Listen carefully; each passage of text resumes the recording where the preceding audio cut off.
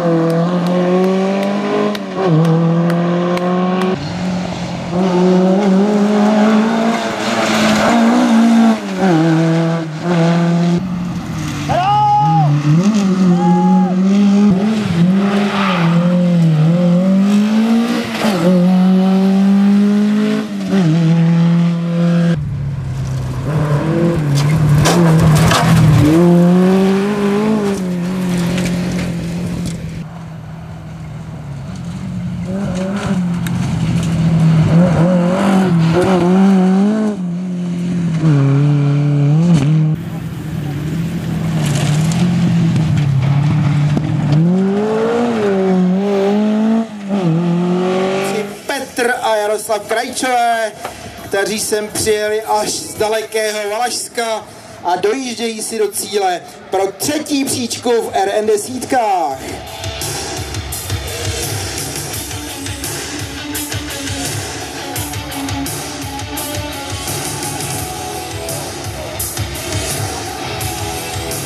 Špotit jsem se mohl i doma, no. A o ničem jiným to dneska nebylo, viď?